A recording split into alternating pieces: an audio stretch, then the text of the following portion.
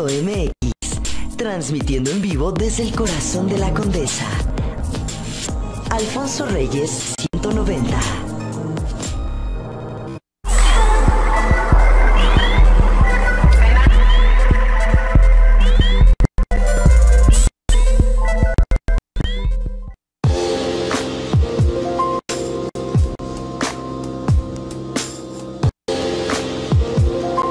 RadioTV.mx presenta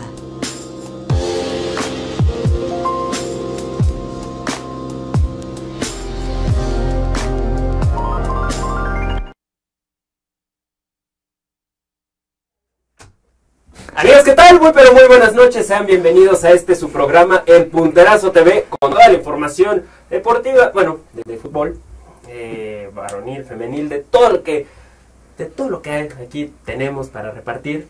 Qué casa llena, qué emoción.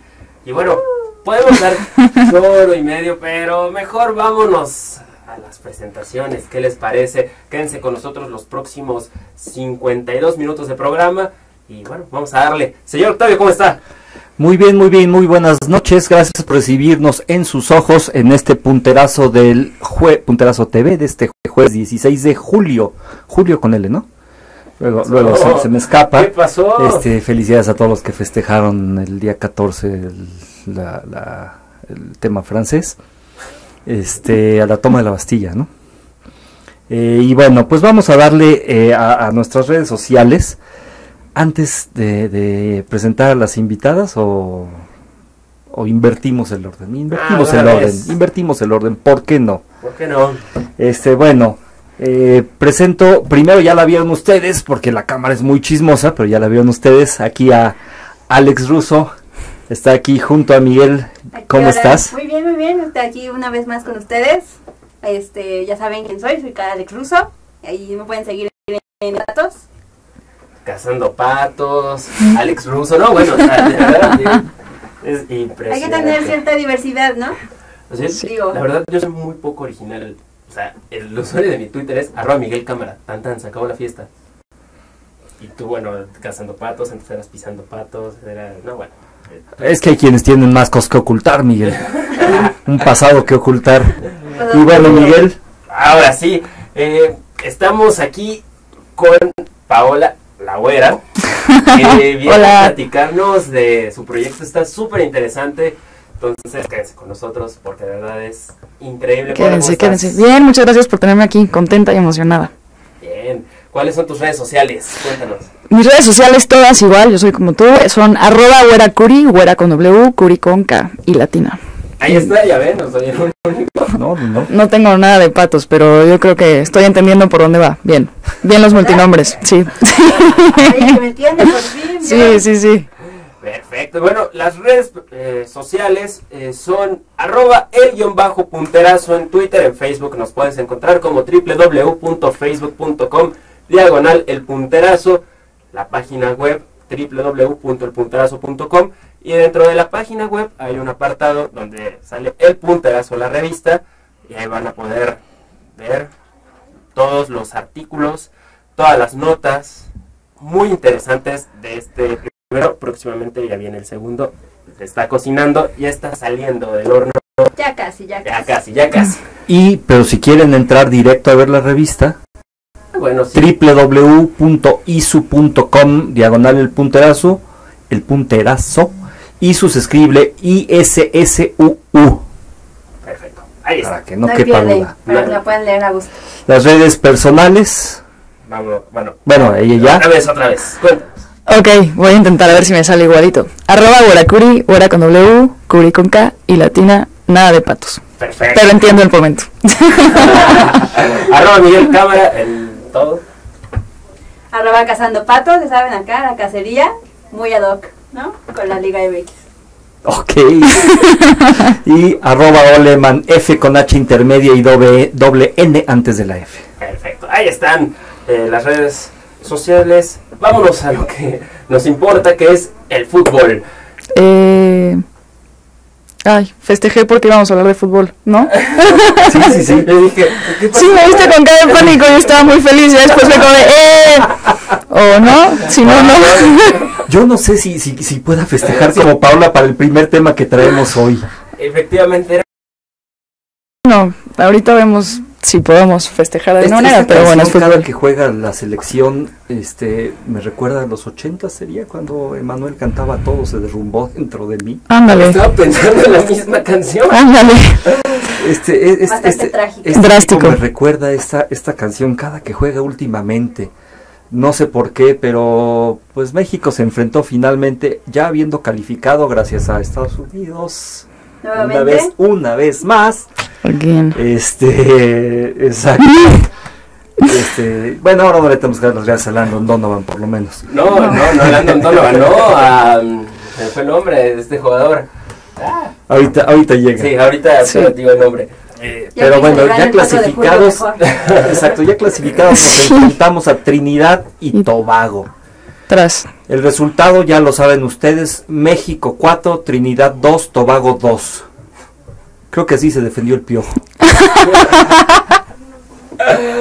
Paola, cuéntanos, ¿cómo lo viste? Qué creativo. Eh, ah, mira, creo que es terrible porque los mexicanos somos muy apasionados y nuestros intentos recurrentes por no perder la fe se están acabando. O sea, vemos y vemos los partidos, aunque los, la selección debute fatal y lo seguimos viendo y seguimos teniendo esperanzas de que lo hagan bien. Y un partido como el de ayer nos vuelve a dejar con el pésimo sabor de boca. Eh, más la lesión de Gio, ¿no? Yo creo que hay como, ya, yo ya dije, Catemaco, Brujas o algo necesitan, porque esto sí está, pareciera de verdad una maldición. No sé, piénsalo. Sí. No, hay que proponerle chance al piojo ahí. Yo no diría algo, todas las anteriores, o sea, Todas las brujerías posibles que nos saquen de esto, ¿no? O sea, es que efectivamente, pero no, solo, no solo al Piojo, sino a toda la federación. Sí. Porque estamos hablando de un fracaso en el fútbol de playa, fracaso en el sub-22, en el femenil. Yo no le llamo, defiende, yo no le puedo más. llamar fracaso, ya di mis argumentos. Sí, yo estoy contigo. Eh, ahora en Copa América otro fracaso. Y aquí, bueno, porque los rivales y el torneo, no voy a decir los rivales, porque lo que hemos visto en este torneo ha sido, han sido sorpresas, Honduras. Eh, pero Un si saludo a Cuba. un saludo a Cuba, un saludo a, mm, digo un saludo, eh, No, pues de paso a la selección femenil de Estados Unidos. ¡Bravo! pero- ¡Qué lindo fútbol! Gracias. Ya. sí, totalmente. Sí. Pero lo que voy es el sistema de competencia de la Copa de la Copa Oro nos permite seguir en la lucha por el campeonato por- porque digo llevamos en total digo llevamos se llevan 10 eh, 10 partidos en total Copa Oro Copa América amistosos y solo se ha ganado uno con- y, bueno, contra Cuba 6-0, ¿no? Pero a lo que voy es, de estos 10 encuentros, es más, desde el Mundial, Mm, no he visto variantes en el sistema de juego del Piojo. Y a mí, perdón, me revienta que se escuden con el tema del arbitraje. ¿no? Pero, bueno, ¿qué, señor, ¿qué es lo que viene para la selección mexicana? Un partido complicado. primero quiero destacar que el 4 a 4 ni siquiera nos lo podemos atribuir, No, Por el porque en realidad Trinidad y Tobago metió 5. Sí. Y fue, un- México fue un metió golazo, tres. por cierto. O sea, la verdad es que hasta, hasta con esa nos ayudaron. A acusar al arbitraje cuando tú no hiciste. eh, bueno, ah, una vez aclarado ese punto, digo, no se puede culpar al arbitraje cuando tú no haces el fútbol. O sea, vimos, vimos a Chile en la Copa América. Este, como sí tuvo ayudas desde mi punto de vista en las ocasiones, excepto en el partido de México, que le ayudaron más a México, eh, eh, con el arbitraje, pero hizo el fútbol que tenía que hacer A pesar de todo lo que podamos decir, lo, lo que todo lo que yo aquí externé de molestia por el tema de Vidal, Chile al final en la cancha hizo el fútbol que tenía que hacer para ganar, al margen de los arbitrajes. México con y sin el arbitraje no está haciendo el fútbol, no se ve contundencia, bueno, sí, salvo si, si, si quitamos el, el, el 6-0 contra Cuba, que ese 6-0 contra Cuba, en realidad yo lo que veo es, este, pues pareció una pelea de box con un sparring, ¿no? Estaba ahí para que tiraras a la portería, si no mal recuerdo la estadística, fueron 40 tiros a portería. Ándale. Ojo, pero los 40 solo entraron 6, ¿eh? Ahora, que, o sea, sinceramente, qué, qué mala suerte para Guillermo Ochoa, ¿no? Sí. Porque los cuatro goles que, que anotaron los jugadores de Trinidad y Tobago, ninguno eh, fue error de, de guardameta mexicano, estamos de acuerdo en todo, ¿no? Claro. Pero le digo qué mala suerte tiene porque en todo el torneo solo ha recibido cuatro disparos y los cuatro han sido gol. Gol, claro. Entonces tiene el peor número dentro de la copa en temas de, de atajadas, ¿no? Yo creo que no solamente ha sido mala suerte de Memo Ochoa, digo, él puede estar haciendo su trabajo y sin embargo su defensa es de agua, su defensa es más eh, vulnerable que un mazapán. O sea, ¿qué está pasando con, con Herrera que no, no mejora sus errores? No sabe detectar qué jugadores no están funcionando, no hay una autocrítica, que creo que eso es lo que le falta a la selección. Y en lugar de, de culpar al arbitraje, en lugar de buscar más pretextos, yo creo que deberían empezar a trabajar y reestructurar su selección, aunque sea algunos cambios drásticos. Claro. no solo no solo no hay autocrítica, tampoco acepta la crítica externa, porque ya, vimos que volvió a ofender a un reportero. Sí. O sea, Rafa, ¿no? No hay no hay manera de decirle que se equivoca este y señor. insultarse con el público en la tribuna. Ah. es un técnico que no se le debe de... Bueno. no debe hacer ese tipo de acciones. Digo, eres un técnico de selección, que no eres un técnico de barrio. sí, Y sabes ¿no? qué, y la pésima suerte que tuvo, que justo cuando apoyó el tema del partido, se puede decir los partidos del Partido Verde aquí, se le vino abajo. Parece de verdad que, que, se le están cobrando el hecho de que haya tenido un acto como ese. A partir de ahí, no sé si te has dado cuenta, ya venía mal y no ha podido levantarse. Se acabó el romance. Sí. ¿no? O sea, al parecer, eh, Miguel Herrera es un director técnico frágil que solo sabe comportarse en los buenos momentos Claro. y que no sabe mantener el orden con la presión. Sí. ¿no? A partir de esto, sí, efectivamente, eh, la luna de miel se transformó en una pesadilla. De héroe a villano, ¿no? Un poco su historia. Porque la verdad, después del Mundial, a pesar de todo, yo creo que lo teníamos en un muy buen concepto. Hay el tema de no fue penal, fue donde la gente se enfocó y creo que dimos un buen Mundial, pero de ahí yo creo, después de ahí yo no le he visto nada bueno a Herrera. Nada. No, ahora, ahí, ahí va la pregunta, ¿eh? Dale, dale. Si ustedes tuvieran el control de selecciones menores, eh, la mayor, la de playa, etc.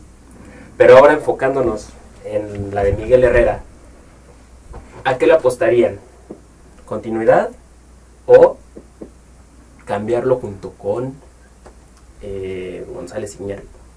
Pues yo apostaría el cambio. De plano. Si algo no te está funcionando, es mejor acabarlo de ahorita, que se puede, antes que ya no, ah, bueno, para ya no afectar más a la selección, para no afectar de resultados ya en camino a Rusia. Y bueno, pues si un técnico como Miguel Herrera, digo, para mí, desde un principio no era un mejor técnico para dirigir la selección. De hecho, yo siempre he dicho que, bueno, pues fue víctima de la suerte por este ser campeón con Cruz Azul. Eh, de hecho, mandaron un, mandaron, hicieron un artículo en, creo que en Copa América, que decía que de todos los técnicos, él solamente tenía un título en su haber. O sea, de todos era como el menos ganador. Sí. Entonces ahorita viendo su estructura, que no tiene absolutamente nada, no tiene eh, un estilo de juego definido, pues, y no, no, no trata de mejorarlo, pues es mejor retirarlo. Por acá. Mira, yo soy fiel creyente de darle a la gente oportunidad de hacer bien las cosas que hiciste mal.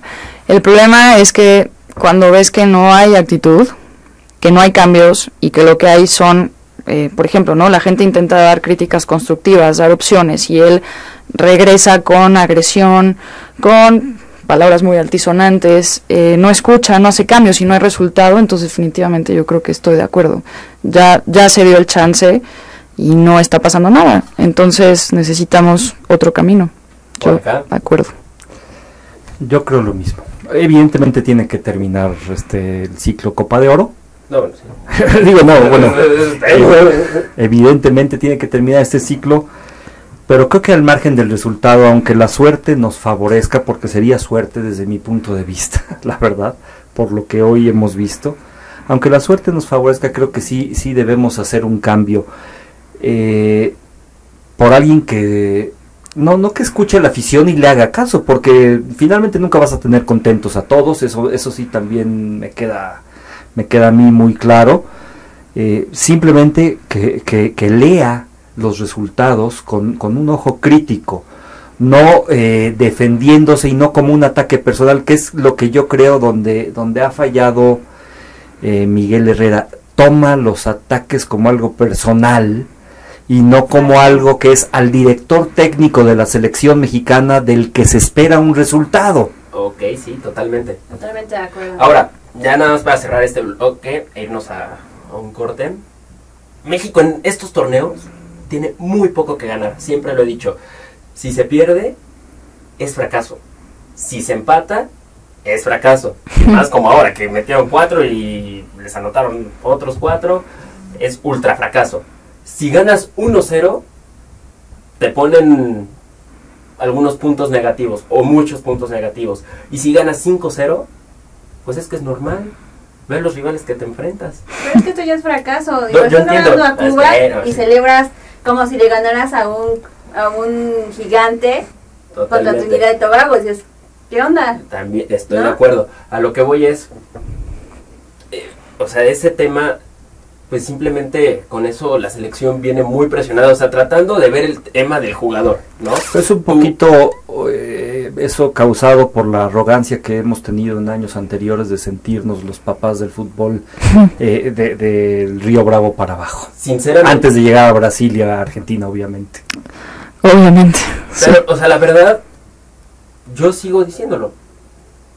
México va ahí con Estados Unidos y los demás, sí, ya subieron el nivel, ya todo, pero no están todavía dentro del papel, o sea, Claro. No. al mismo nivel. Y se nota en la constancia, como que de repente aquí si le ganamos a uno bueno es ya como, híjole, no, estamos perfectamente bien, campeones, guerreros, y después pasa algo como lo que ha estado pasando ahorita y es terrible, y el problema es que un equipo bueno es bueno siempre o prácticamente siempre, no de repente y en destellitos, y México tiene en destellitos, o si no es que en obscuridad total, ya hace varios meses atrás, Es ¿no? cierto, es una bipolaridad del equipo. Genial, pero bueno, nos vamos a un corte y regresamos porque ahora sí, Paula, agárrate porque nos vas a platicar de tu gran proyecto. Volvemos. Regresamos.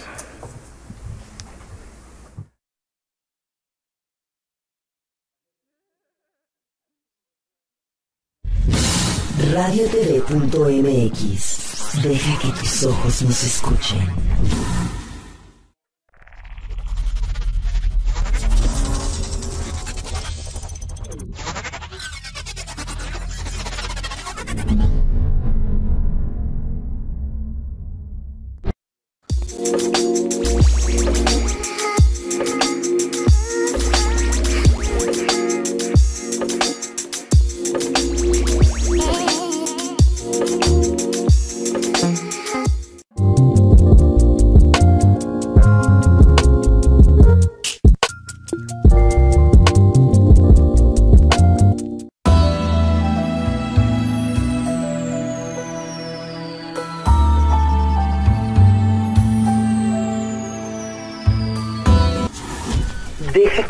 Imagen alcance tus oídos.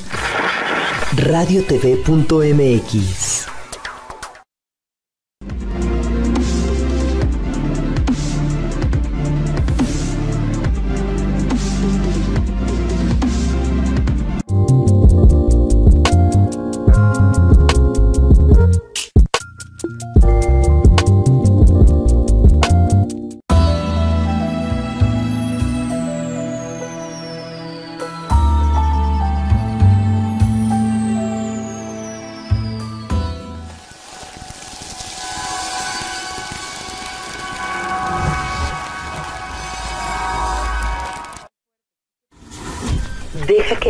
alcance tus oídos.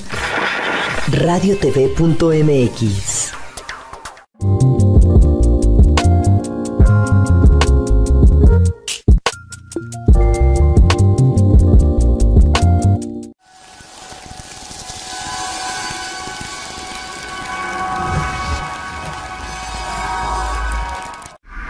radiotv.mx La Radio TV.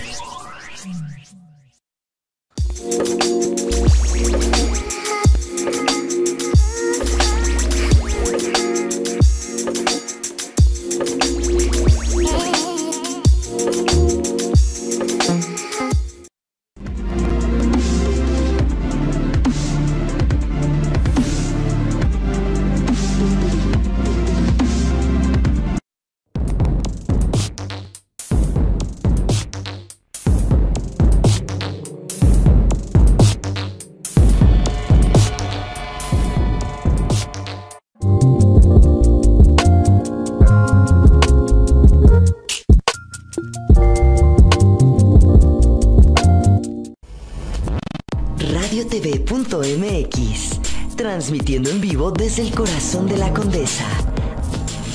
Alfonso Reyes 190.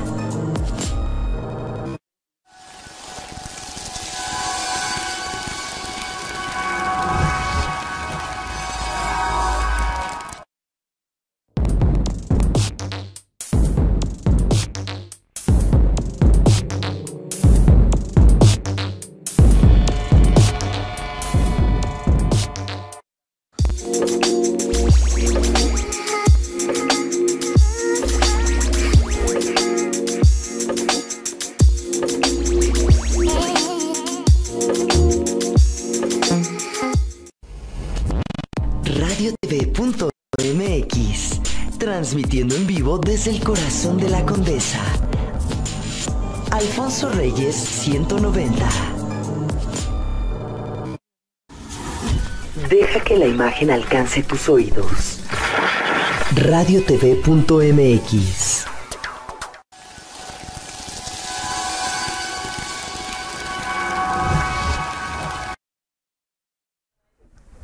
Amigos, estamos de regreso en el Punterazo TV. Señor, tenemos saludos por acá. Así es, así es, tenemos, tenemos saludos. El... Ahí está, ahí estamos. Eh, bueno, nuestro querido amigo Lalo MX. Ah, el buen Lalito, como no. Abrazo. Un saludo. Te queremos, Lalo. Me están viendo, me piden que no diga el nombre, pero no sé, porque no, no se puede, pero nos están viendo en la torre de Pemex. Eh, Pónganse a trabajar, por favor, señores. No, ya salieron, salen Ah, a las 6 de la tarde. Quédense a ver el programa. Nada más están aprovechando el- el- la red. Este, A Daimon94 le mandamos un fuerte abrazo. Por acá también. Ah, uy, se me fueron. Esperen, no, es que traigo otra. Bueno, la del punterazo. Valiente. ay, sí. No, bueno, no, no, no, pero por acá vamos a tener como 300 saludos. güey. Con mucho gusto podemos mencionar a la Porque gente. hasta tiene club de fans. No, no, no, no, no. Se cotiza. No, no, no, todavía no. Falta a Mariana. González, nuestra querida amiga Mariana, ¿cómo estás? Un saludo, Ah, muchas gracias. Sí, aquí está. Eh, también para Israel, eh, Israel Lascano, eh, donde nos comenta que la presión de ser director técnico de la selección mexicana le está llegando a Herrera como le pasó al Chepo y esa presión también está afectando a los jugadores. Sí, ¿sí? ¿Vieron la portada del récord de hoy? Si no la han visto, se las dejo de tarea. sí, hay que verla. Terreno futbolero, un saludo, gracias. Eh, Mariano Warrior, un fiel seguidor y que apoya la campaña con todo, entonces vale la pena dar las gracias a la gente que está cerca apoyando. Janet, Mariana González, Axel, Terreno Futbolero, Miguel Macías, varias personas. No, ¿sí? bueno, ya. Ándale. Eh, También a, a Irma, Irma Morales. Le damos un, un fuerte abrazo. Ahora sí, a ver, ya, va- vámonos a, a- a- aquí eh, con, con Paola porque tu proyecto es muy interesante. La verdad, yo no, a mí no me gustaría decirlo. Me encantaría que tú nos lo platicaras. claro. Y de ahí nos arrancamos. Seguro, sí, por supuesto. Pues miren, les voy a contar un poco. Yo juego fútbol eh, desde los tres años de edad. Vengo de una familia conservadora, somos árabes. Eh, mis papás apenas son primera generación aquí, para que más o menos se den idea de- del contexto familiar en el que me tocó crecer. Y eh, como le platico mucho a la gente, suena como abuelita, pero en mis épocas todavía no era nada cool que las niñas jugáramos fútbol. Eh, yo hablo con mis contemporáneas y está muy interesante porque todas tenemos historias muy similares de cómo normalmente siempre éramos la única niña jugando con puros niños, ¿no? El tema de que los papás no querían dejarte jugar fútbol o que en la escuela te molestaban de, ay, ¿te gusta el fútbol? Ese es deporte de niños, marimacha, eh, todas esas cosas, ¿no? Eh, yo la verdad es que no me pude dedicar a ser profesional justo por temas sociales, culturales y de sistema. Entonces, eh, pero bueno, hasta la fecha y dedicándome a otra cosa, juego fútbol tres veces por semana, estoy en tres ligas diferentes, eh, por confirmar el, el cuarto equipo, pero es demasiado, sí. Jugué cinco años en la Ibero, fui titular ahí, tuve la oportunidad de jugar torneos este, con de Conadeip, universidades regionales, etcétera. Y meramente el origen de esta campaña es que todas las niñas que hoy en día se quieran dedicar a jugar fútbol puedan jugar fútbol. Tras. Ok, pero ¿cómo empezó todo esto? A ver, cuéntanos. Pues eh, yo tengo una empresa de arte en la vida real, eh, que siempre lo digo así, no, no juego a ser futbolista. Tengo una empresa de arte que se llama Etos y ahorita ya somos la feria más grande de arte mexicano independiente en México. Mi hermano y yo somos socios. Y pues justamente eh, yo escribo para un blog que se llama Ellas también saben, es el estilo de vida de las deportistas, en mi caso específicamente para el fútbol. Eh, quise yo escribir un artículo que hablara eh, de la equidad de género, bueno, específicamente de oportunidades, ¿no? Entonces junté a un equipo de niñas, a una fotógrafa y a una ilustradora, ambas son artistas de mi empresa, entonces con este tema de Girl Empowerment, pues éramos un equipo de puras niñas, ¿no? Ellas dos y su servidora, Margarita Mena y Tiani Farr, que es la ilustradora, eh, me pintó ella un tatuaje en la espalda de un dragón, que son el dragón que pueden ver en las fotos. Tres horas se tardaron en pintarme el tatuaje, que luego la gente es como de, uy, no es de verdad. Sí, pero tres horas ahí estuvimos. Pero está padrísimo, Ah, sí. la oportunidad de verlo. Está, es una gran fotografía Sí. y un gran, gran arte. de Sí, un body painting súper bien hecho. Ahora, ahora en producción vamos a ver si nos puede... Mostrar el dragón. Y- Sí, en Twitter. Ahí, aquí lo, lo pueden... Sí. ah, ya- ahorita ya lo... Ya lo Ahorita se las mandamos para que la gente que no las ha podido ver las vea. Y bueno, este, justamente ese artículo iba acompañado de estas fotografías, ¿no? Para cubrir la parte gráfica. ¿Por qué un dragón? El dragón es el único animal en el zodiaco chino, si se dan cuenta, que es un animal que es fantástico, que no existe, todos los demás son terrenales. Al dragón se le adjudica mucho el tema místico, mágico. Entonces, pues justamente, y es, y es muy fuerte, yo quería demostrar el tema de la vulnerabilidad de la mujer, pero que a la vez la mujer, o sea, tiene esa magia, pero también tiene fuerza. Entonces, justo puedes ser niña y puedes jugar fútbol. Entonces ahí sale un poco el, o sea, el contexto y el concepto de hacer las fotos de- con el dragón en la espalda, semi desnuda, que luego, y quiero aprovechar el espacio, ¿no? La gente es como, ¿cómo estás haciendo una campaña a favor de, de la equidad y sales desnuda en tus fotos? Y creo que para nada tiene que ver una foto erótica con lo que se hace cuando es arte, ¿no? Entonces, eso número uno. Y luego me dicen, ay, y sales enseñando tus piernas. Pues sí, el uniforme de fútbol lleva shorts y con los shorts se ven las piernas, ¿no? Entonces, ya, aclarado eso. Sí, creo que no hay que... Sí, no, porque la gente luego se desvía y esta campaña es 100% sin fines de lucro. La gente luego también dice, como seguro solo te quieres ser popular, yo no estoy ganando nada de esto. Literalmente viene de, de que no quiero que mi historia de frustración se repita con las niñas que se quieren dedicar a jugar fútbol. Entonces saqué el artículo y saqué las fotos por travesura eh, y tuvimos 500 mil impactos en un solo día. Entonces dije, órale, no, pues sí se movió. Hay gente que lo quiere ver, hay gente que está respondiendo al fútbol femenil, a lo que se está haciendo ahí. Entonces, pues vaya, hagámoslo bien. Y de ahí es de donde nace que ya esté yo ahorita con ustedes, por ejemplo, y la gente que, que me está abriendo las puertas para que pueda yo darle toda la voz posible a la campaña. Wow. Es increíble todo. es increíble todo esto. Y por ejemplo, Diana, eh, justamente veníamos platicando de, de la campaña. Y bueno, así literal me dijo, no, pues, eh, ¿cómo, cómo dijiste? Ya la, ya la estoqué. Ya la stalkeé, aquí. Le dije, "Bueno, voy a ver qué tal, ¿no? Y realmente me enamoré del, del proyecto, me gustó mucho los artículos que estaban ahí expuestos de muchas Gracias. mujeres que eh, se tratan de involucrar en el fútbol, de dar su punto de vista femenil del fútbol, que, que era como que esa parte de los medios que no teníamos. Y las fotografías realmente me gustaron muchísimo. Gracias. Esa imagen del dragón, el dragón está, es, es arte, eh, tanto la iluminación, la integración de la Sí. fotografía está muy bien hecha. Sí. Eh, no tiene nada que ver con que, ay, mira, se exhibe el cuerpo de la mujer, no. O sea, tiene un propósito y la fotografía está muy, crea muy bien creada para que no salga este tema de la vulgaridad, ¿no? Justo, justo, Entonces, justo. creo que van muy ad hoc, ahí podemos ver las fotografías, van muy ad hoc con, con, con ese tema del fútbol y la mujer. Y lo que esta campaña quiere quiere resaltar, ¿no? Como Justo. ya nos explicabas con lo del dragón y, y el fútbol. Claro, de hecho estuvo muy interesante porque hice una encuesta a 50 personas para escribir el artículo. Entonces les pregunté, ok, en una palabra, ¿qué es fútbol para ti? A ver, por acá. A ver, ¿Qué es fútbol para usted? Una palabra que se me infartan como de, ¿cómo una palabra? Pero tiene que ser una. Es que yo estaba leyendo las palabras que te están poniendo aquí. Ok, el chiste es que lo digan sin pensar para Sí, que realmente salga la, ajá, primera intención. Este, Y seguro pensaste en pasión.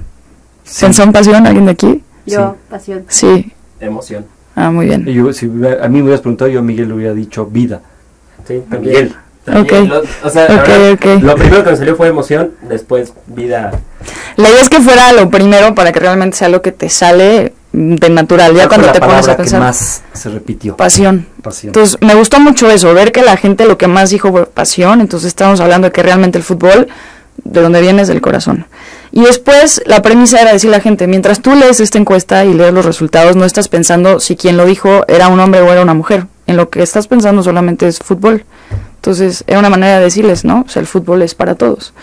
Y de ahí se me ocurrió, de hecho, que el hashtag fuera yo soy fútbol, que es como no ponerle ni él, ni ella, ni nada, es yo soy fútbol. Entonces, es, es increíble. A mí me gustó mucho, leí todas gracias. y sí, sale emoción, sale pasión. Y justamente estaba buscando, ¿a- ¿alguien habrá dicho emoción? o vida también. Y sí, sí hay vida también. ¿no? Entonces está bastante, bastante bueno. ¿Qué opinas del fútbol femenil en nuestro país? Mira, eh, qué bueno que tocas el tema, porque de hecho creo que hay muchas críticas en contra de- del trabajo de las chavas, ¿no? Porque fuimos al Mundial, por ejemplo, y no pudimos hacer un, un gran papel. Perdimos 5-0 contra Francia, que eso ya fue así como de, uy, duro. Pero la verdad es que yo sé que las niñas que están en la selección femenil mexicana están porque quieren estar ahí. Los recursos son muy escasos, las oportunidades son terribles, eh, el poco apoyo que se les da a las niñas, eh, de verdad es, es un tema duro. Entonces yo les puedo decir que las niñas que están ahí es porque ahí quieren estar. Entonces, personalmente les reconozco mucho ese trabajo. Claro que no estamos en el nivel óptimo de fútbol, pero no me gustaría criticarlas porque no creo que no tengan el nivel, no porque no quieran llegar a él, sino porque no se les prestan las facilidades para que puedan lograrlo. Sí, totalmente. Cuando, ahorita que me estás platicando, yo fui producción, porque bueno, la- eh, acá Gris. la productora Gris tiene un programa de, de sí, se llama Ellas en el Deporte, donde Ole. tocan todos los deportes, pero eh, el lado femenil. Ah, qué interesante. Entonces, Que me inviten. ya, ya- ya- ya enganchamos aquí. pero, pero lo que voy es, yo, yo lo comentaba en programas pasados y sobre el tema de la selección mexicana en el mundial. Yo no lo considero un fracaso, ¿no? Porque no existe una liga. Ahora, bueno, se hace el tema de la liga femenil, sub 13, sub, 16. sub sí, sub 16, sub 13. Ujú. Y, pero bueno, o sea, Se está comenzando en se está realidad. avanzando. Y a lo que voy es, digo, existen otras ligas, sí, Claro. pero a lo que voy es, ¿cómo vas a clasificar lo que es ser profesional si no tienes amateur? Por supuesto, ¿No? por supuesto. Entonces, Y, perdón, te interrumpo dos segundos. También estamos hablando de que cuando la gente está en una profesión es porque se les paga por esa profesión. ¿Estamos de acuerdo? Entonces, si no hay también ese apoyo, pues uno está completamente dividido porque hay que ver de dónde se puede vivir hablando económicamente y a la vez practicar todo el tiempo que se tiene que practicar. Es imposible. Es imposible. algo... Sí, sí, porque no es que digas, ay, bueno, el sábado entreno, pues no. Claro. No, Digo, eso no te sirve para realmente hacer un buen papel en ningún lado. No. O sea, jugar fútbol es una profesión. Bueno, Sí, en el tema femenil debería de serlo y lo es y funciona porque por todas partes vemos que, que yo así creo que es. como decías, no lo ha sido por cuestión cultural. Este, particularmente en una sociedad tan tradicional como la mexicana. Este, bueno, y si me, me- bueno, mencionabas tu, tu ascendencia, pues también hay, hay un, un- un conservadurismo, una, una, una serie de ataduras que históricamente hemos tenido, pues se entiende que no haya sido, pero creo que es momento de empezar a cambiar. Sí, No, incluso, perdón, se ha dado un gran paso ahora y era lo que también comentaba. Espero que este gran paso que se está dando no sea solo por moda, del tema del mundial, Claro. sino que realmente siga eh, pues esa tendencia a ver fútbol femenil, estar interactuando con, con este tema, eh, ver qué es lo que pasa no solo con estas chicas de la selección mexicana que bueno juegan en la universidad, ahora hablaremos más adelante del tema porque ya tenemos una seleccionada que juega en el Atlético. Sí, eso está increíble. Pero también del fútbol femenil a nivel internacional, ¿no? Hay Champions, hay ligas, es impresionante. Claro. Y me, me voy a regresar tantito a tu tema, Sí, este, porque me surge ahorita una, una pregunta. dime. ¿Qué problemas o qué peros has encontrado con esta campaña? Uy, mira, eh, ha sido, bueno, por suerte y agradezco mucho que ha sido más positivo que negativo, pero todavía, por ejemplo, la semana pasada, eh, Récord, eh, fueron eh, increíbles y me hicieron un artículo que se publicó. Te encuentras todavía con críticas que dicen, eh, gente que está diciendo como, ¿qué? ¿Mujeres jugando fútbol? No, bueno, este, ya, ¿no? El acabose. Mujeres a la cocina. Eh, cosas más sexuales incluso, ¿no? De referencia sexual, otros hombres diciendo, ¿para qué quieren jugar fútbol las mujeres? Y ya va- ahora resulta que también van a querer jugar con los hombres. Y, y para variar empiezan a disvariar que la campaña ni siquiera va por ahí. Y en ningún momento yo dije quiero jugar fútbol con los hombres. Es más bien darle el espacio al fútbol femenil que es de niñas contra niñas, ¿no? Yo entiendo perfectamente, o sea, y quiero dejarlo muy claro, biológicamente el hombre y la mujer somos diferentes pero las oportunidades, y por eso siempre cuando me preguntan digo, es equidad de oportunidades, porque oportunidades sí merecemos las mismas. Entonces, pues todavía hay mucha gente con esa mentalidad, y esa mentalidad es una barrera muy grande. Hay mucha gente que todavía piensa que, que no es, o sea, que el fútbol no es para mujeres. Pero yo creo que en esto, bueno, este precisamente este 2015 ha sido como un parteaguas eh, que hemos visto en el fútbol femenil. O sea, ya no es tan ignorado como en mundiales pasados. Sí, Esta tuvo como más boom, tuvo más difusión, tuvo más interés, inclusive Sí. de gente que sí tenía duda de, de decir, bueno, pues el- las mujeres no juegan o solamente están ahí porque... pasaron los partidos por lo menos Exacto. también. Y hubo gente que, bueno, lo veíamos en Twitter, Claro. en Facebook, que pues hablaban de- del fútbol femenil. Sí, Entonces ya creo que este año ha sido completamente diferente en ese aspecto. sí, Esperemos que sea, como dice Miguel, una cosa ya de aquí en adelante. que se quede. Esperemos que Este, sí. me gusta tu, tu campaña y tu manera de verlo como equidad de oportunidades para el fútbol, empezando por ahí, pero en general, ¿eh? En general, para cualquier ámbito que se nos ocurra, este, que sea equidad de oportunidades, eso, eso me gusta. Este, a partir, y bueno, y surge por tu Sí. inquietud y por el fútbol, pero que a partir de esto surja para muchas otras cosas. Sí, definitivamente yo creo que el mundo está yendo para allá y en México no podemos quedarnos atrás con todo lo que se está haciendo.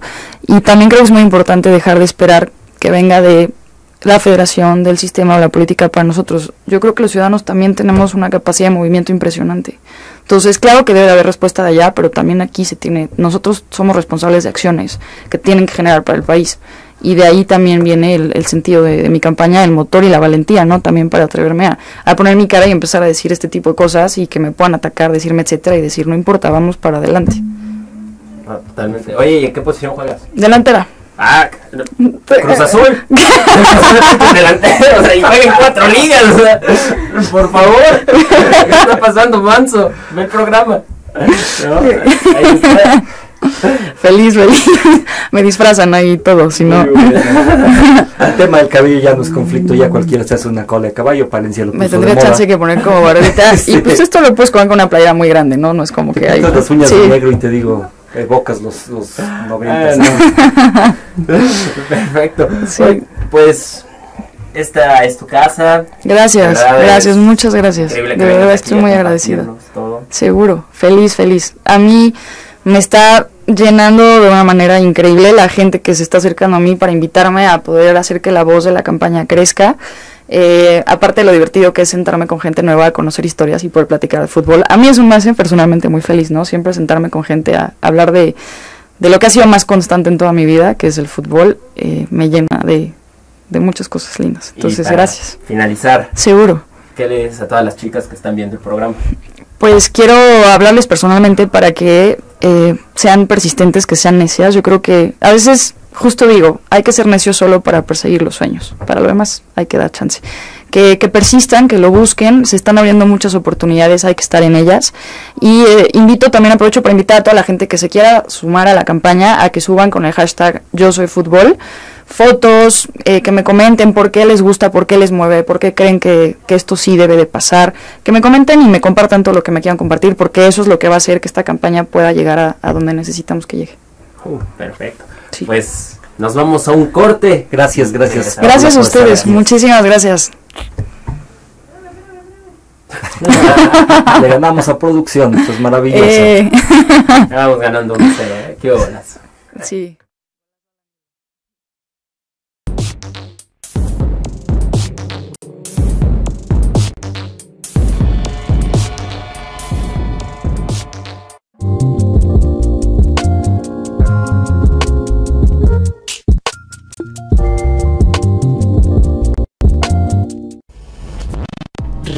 radiotv.mx, transmitiendo en vivo desde el corazón de la condesa.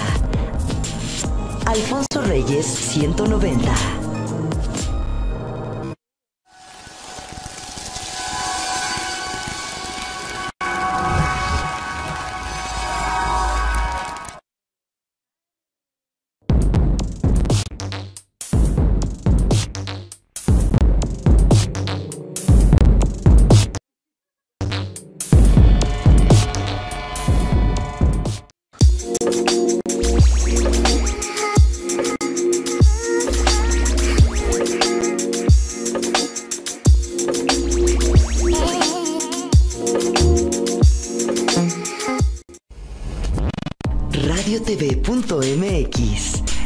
Transmitiendo en vivo desde el corazón de la condesa.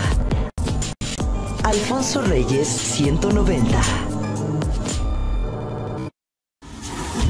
Deja que la imagen alcance tus oídos. radiotv.mx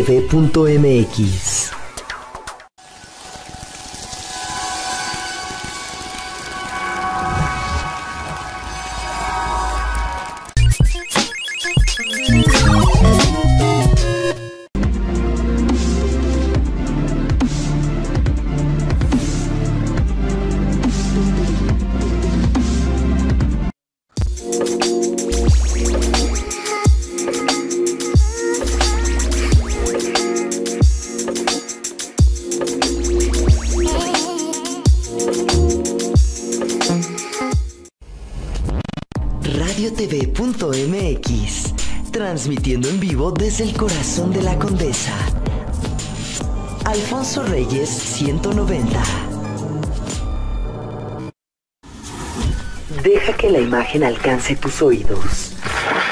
radiotv.mx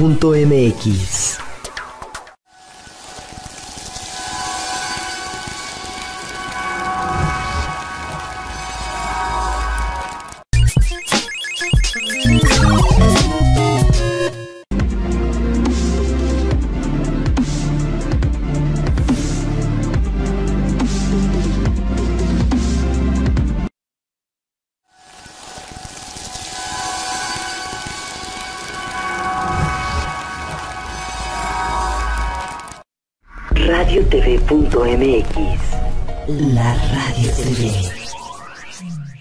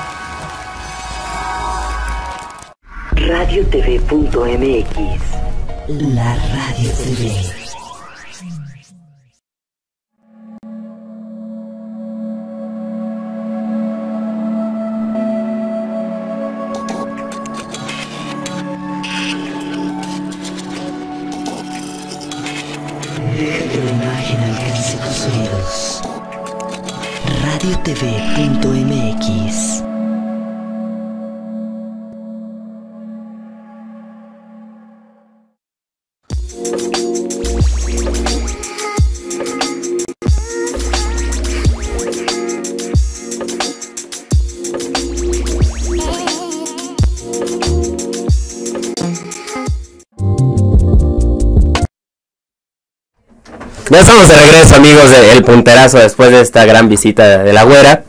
Pues ahí está, ¿no? Qué bonito, qué coqueto, qué sensual. Vamos al siguiente tema. No, bueno, ¿eh? La frase del día, ¿eh? Hashtag. Qué bonito, qué coqueto y qué sensual. La, la frase, el siguiente tema. eh, vámonos con nada más y nada menos que ya había perdido mi escaleta. Con Kenty Robles con esta gran jugadora, selección mexicana, ya tenía un paso por Europa, el Barcelona, el Español y ahora el Atlético de Madrid.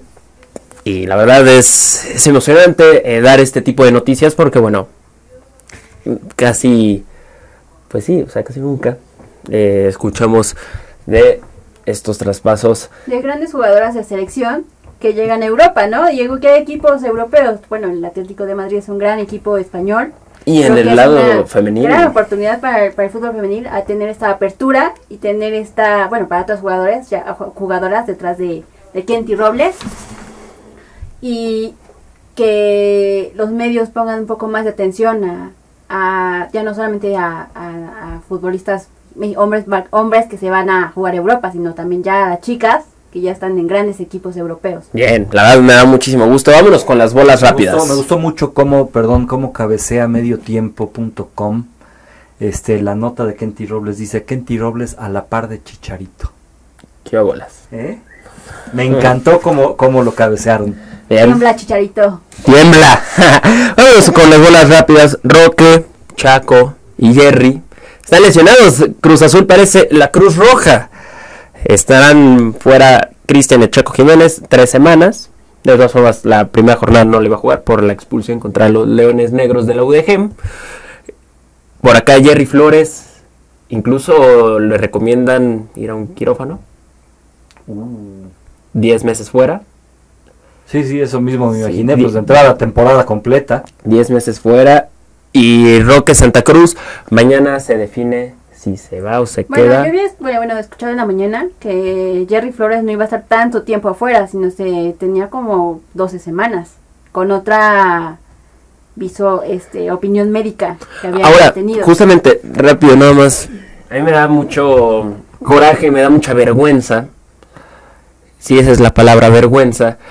Que el doctor de Cruz Azul, sí, aquel que ha, ha lesionado a medio equipo históricamente en los últimos años, vaya y diga que y dude de las capacidades de doctor de las Chivas, que es el máster, que es el máster para para este tema de lesiones, que va y diga, no, pues es que eh, lo, el cuerpo de este jugador es más robusto, entonces es más tiempo y no, hay confusión ahí, ¿no? Cuando en los últimos cuatro años el doctor Jiménez ha lesionado al 40% de los jugadores que han venido últimamente, ¿no?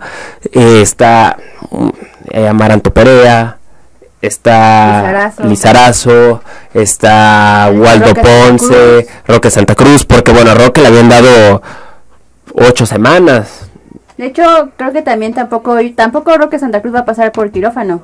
No, el problema aquí es que hay una bronca terrible con este doctor, ¿no? Porque los jugadores no tienen confianza de él y prefieren irse a Guadalajara, ¿no? Pero bueno, mal, mal, lástima por Cruz Azul, bueno, pero están reforzadones a ver qué pasa. Oye, pero necesitan reforzar el área médica, bueno.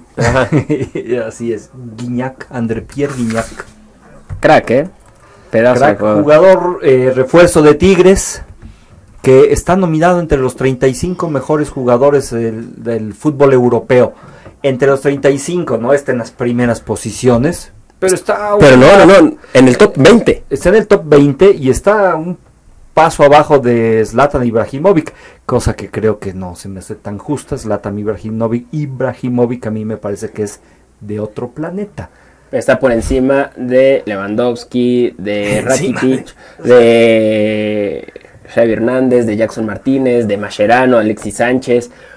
Es un jugadorazo, ¿eh? y en esa misma lista encuentras a Buffon, a Vidal, a Ya, nada más para cerrar este tema. ¡Qué Digo, ahorita ya por cuestión de tiempo no pasamos, sino platicamos de la Libertadores. Pero en el partido, rápido, 3, 2, 1, ¿lo vieron? Aguas con este jugador, ¿eh? Guiñac hizo dos jugadas, mano, que se llevó a dos jugadores con túnel incluido y el arquero con grandes reflejos lo, lo sacan y genera espacios para sus compañeros. Impresionante. Aguas con este jugador, ¿eh? Terrible. Pero bueno, nos tenemos que ir. Pues No. muchísimas gracias, muchísimas gracias. Los invitamos a que pasen a Izumi a comer cocina oriental, Altavista 154A en San Ángel. Muchísimas gracias por haber estado aquí con nosotros en el punterazo. Alex Russo, Miguel Cámara y Octavio en los micrófonos, Gris en producción, Victoria en redes sociales. Buenas noches, nos oímos el lunes, nos vemos el jueves. Hasta luego.